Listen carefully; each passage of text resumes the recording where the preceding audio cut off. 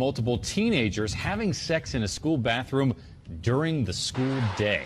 Girl told deputies it happened at South Fort Myers High on Wednesday morning. I'm Jeff Butera. I'm Christopher Fogelsong. The incident report says there was one girl inside the bathroom and 25 boys were seen going in and out of that bathroom. Parents stunned. Oh, that that girl been doing that ever since middle school. Like, I guess it got out of hand when the teachers found out. Been doing that in their family. Her mama did it. Her grandma did it. My grandma even know about it. What's the white girl name? Jessica. Um, white White Horse. Yes, Jessica White Horse. Nasty. They all get caught fucking in classrooms. All of them. Oh, That is one low down trifling ass family.